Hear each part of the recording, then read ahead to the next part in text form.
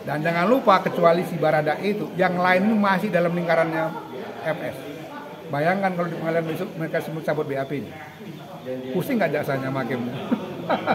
kami waktu itu terpaksa Pak Hakim, karena itu kami buat pengakuan sekarang kami tarik.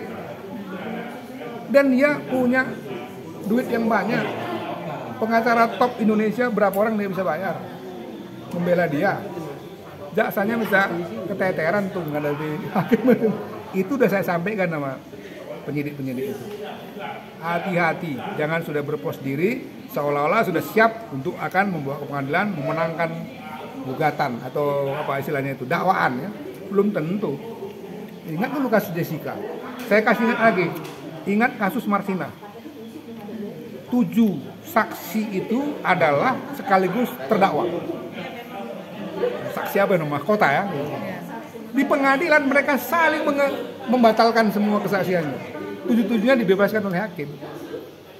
Jangan lupa, mau di PR. Polikarpus dihukum, Direktur Garuda dihukum, Pramugari dihukum. Tapi Polikarpus dibebaskan. Eh, saya bukan Polikarpus, di PR. Kenapa? Karena tidak ada satu alat bukti yang kuat ketika di pengadilan itu.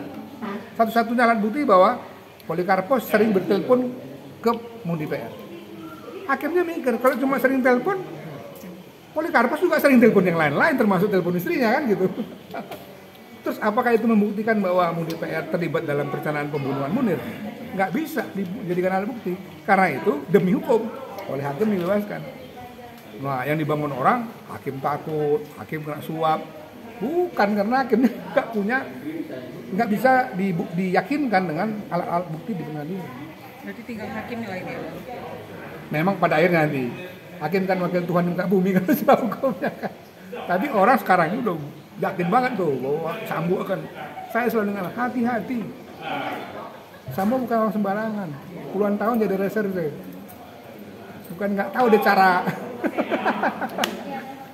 Iya kan? Sebagai bos mafia dia tahu dari caranya keluar dari Orang waktu saya tanyain segala macam, ada saat dia nangis, ada saat dia senyum, seperti eh, kira-kira bahasa isyarat lu nggak tahu siapa gua kali ya gitu.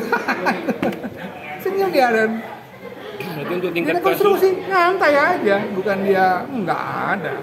Jalan dengan gagah jumpa saya. Hai pak. Gitu langsung. Kan dia sering ke Komnas HAM dulu kalau ada kasus. Hai pak apa kabar? Saya nggak ada masalah. Ya, gitu.